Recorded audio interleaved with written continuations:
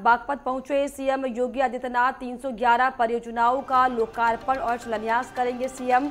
इसके अलावा तीन सौ इक्यावन करोड़ की 311 परियोजना का लोकार्पण और शिलान्यास होना है। टैबलेट और स्मार्टफ़ोन का वितरण भी सीएम योगी आज करने वाले हैं। आपको बताएँ बड़ौद के जनता वैदिक डिग्री कॉलेज में कार्यक्रम का आयोजन किया जाएगा। तेईस करोड़ से बने केंद्रीय विद्यालय बावली का भी लोकार्पण आज सीएम करेंगे। इसके अलावा रोडवेज़, बस स्टैंड का भी शिलान्यास सीएम योगी करने वाले हैं। तो ये बड़ी जानकारी आपको बता दें कि सीएम योगी आदित्यनाथ का आज बागपत का दौरा है और बागपत सीएम योगी पहुँच चुके हैं। वहाँ पर उनका स्वागत किया गया।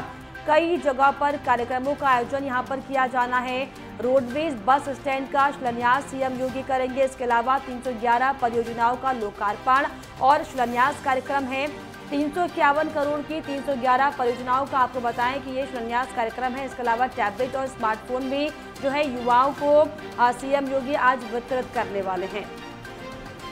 तो ये बड़ी जानकारी बागपत पहुँचे सीएम योगी आदित्यनाथ। उनका वहाँ पर भव्य स्वागत किया गया। कार्यक्रम में सीएम योगी शामिल हुए हैं।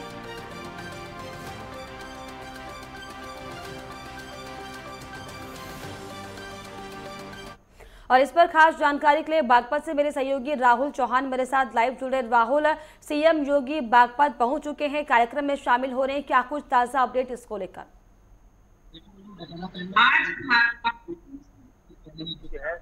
बागपत के गाँव है, वहाँ गोरखनाथ मंदिर। में फ़िलहाल वो पहुँचे हैं। अब से कुछ देर बाद वो वहाँ पर जो है श्रीमद भागवत कथा में सम्मिलित होंगे। उसके बाद तकरीबन एक घंटे के कार्यक्रम के बाद वो बड़ोद के जनता वैदिक डिग्री कॉलेज में पहुँचेंगे जहाँ पर वे साढ़े तीन सौ करोड़ की कार्य योजनाओं का शिलान्यास करेंगे। हम्म। मैं फ़िलहाल बताना चाहूँगा कि हमारे पीछे मंच सजा हुआ है। मंच पर फ़िलहाल जो है सिसोदिया जसवंत सैनी राज्य मंत्री राज्य मंत्री के पी मलिक बागपत विधायक योगी दामा जितने भी ये जो विधायक हैं मंत्री हैं ये सब जो है अपने अपने जो है समर्थकों के साथ जो है फ़िलहाल जनता वैदिक डिग्री कॉलेज में पहुँच गए हैं। जी। बिल्कुल। कई कार्यक्रमों का आयोजन आज किया जाना है, जिसमें जो है करोड़ों की जो सौगात सीएम योगी बागपत के, बागपत की जनता को देंगे। इसके अलावा रोडवेज़ बस स्टैंड का भी शिलान्यास किया जाएगा, जिस तरीके से आप भी कार्यक्रम स्थल पर वहाँ पर मौजूद हैं। तस्वीरें अगर आप दिखा पाएँ तो दिखाई कि किस तरीके से वहाँ पर इंतज़ाम सीएम के स्वागत के लिए, आगमन के लिए किए गए हैं।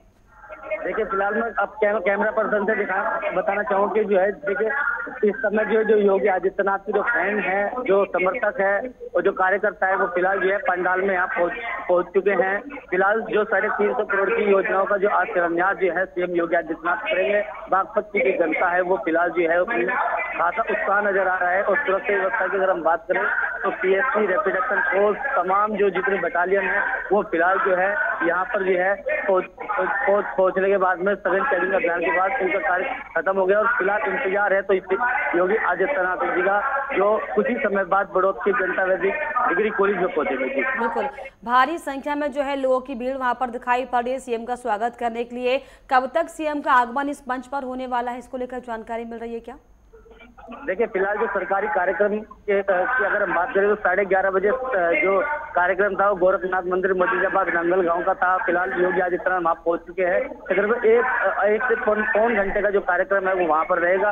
उसके बाद, तकरीबन आधा घंटे के बाद सीएम योगी आदित्यनाथ हेलीकॉप्टर के द्वारा एक जनता वैदिक डिग्री कॉलेज में पहुँचेंगे। यहाँ पर जो है कार्य योजनाओं का शिलान्यास करेंगे जो कि साढ़े तीन सौ करोड़ से अधिक की है। उसके बाद में जो छात्र छात्राएँ हैं उनको स्मार्टफ़ोन और लैपटॉप भी जो है वितरित करेंगे। बिल्कुल। ऐसे में राहुल कौन कौन सी विकास की योजनाएँ हैं जो आज बागपत की जनता को मिलने वाली है? देखिए अगर मैं बात करूँ तो जो हरियाणा और यूपी को जोड़ने वाला चपरोली बड़ौद पुल है पानीपत और बड़ोद जिसको बोला जाएगा उसका राज्य कन्या विद्यालय इंटर कॉलेज बावली है बागपत का बस स्टैंड है। अमूल प्लांट जो बागपत में जो है साढ़े आठ सौ करोड़ रुपए की लागत से यहाँ बनेगा। इन सभी का जो शिलान्यास आज जो है सीएम योगी आदित्यनाथ करेंगे। कई जो है विकास कार्यक्रमों को आग, आ, आगे बढ़ाते हुए साफ़ तौर पर सीएम योगी आज बागपत की जनता को बड़ी सौगात देंगे। बहुत शुक्रिया आपका राहुल। तमाम जानकारियों के लिए तमाम बातचीत के लिए।